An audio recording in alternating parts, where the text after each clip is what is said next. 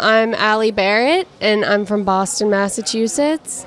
And basically, when I was around 13, I just decided that I wanted to get into the modeling industry.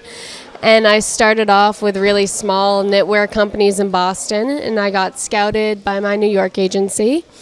And um, I got to do some work with Gucci, and I'm lucky enough now to be doing Fashion Week in Paris. My name is Sara. Um, I'm come from Slovakia. I'm 19 years old, and I started actually like year ago only.